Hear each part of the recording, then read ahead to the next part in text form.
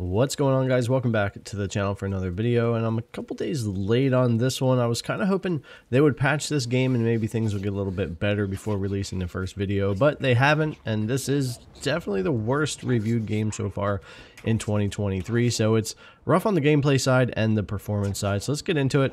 And starting with the properties of the game here, I didn't force any compatibility for this. However, I did try all the different compatibility layers for different versions of the OS here. The only way I could get the game to work was in beta. For stable and preview, no matter what uh, Proton layer I would use or compatibility layer, the game would hard crash, wouldn't work, and the Steam Deck would restart. On beta, I've been able to at least launch and run the game and haven't had any crashes yet.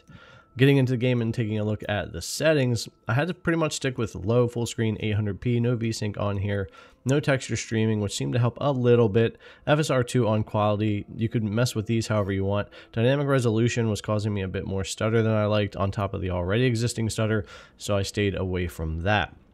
So just getting into the game and taking a look here, we're going to use this spot just as a, a, small comparison before we move on into more gameplay in the low settings. But you can see here, there are some areas of the game that actually, with frame times and everything else, run pretty decently. Utilize the GPU and push things there, so pretty clean frame times and not too bad for FPS just in this one spot.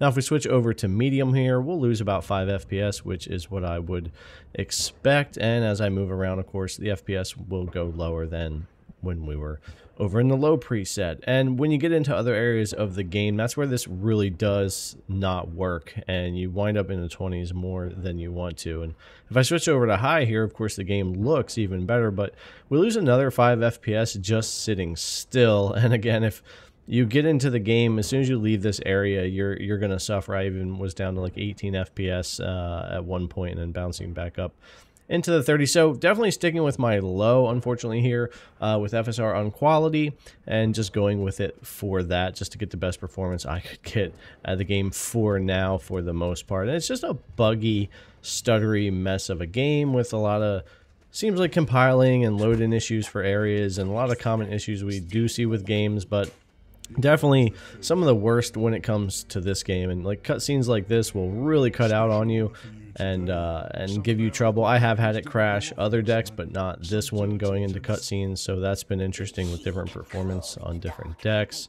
And for the most part, you're going to see major issues where you'll go down to the teens and bounce back up. And once an area loads in, you'll be all right and be in the 30s and 40s a lot of the time. But there are just many, many instances where you're suffering in performance. I don't know how much work they'll put into this game post-launch here, how many patches we're going to get or fixes. I know with how the game's been received and how rough the reviews are, I'm not sure what the support's going to be looking like going forward. I almost didn't cover the game, it's been so bad, but I figured it's one I've really been looking forward to, and I'm very disappointed that it is in the shape that it's in, both gameplay-wise and performance-wise.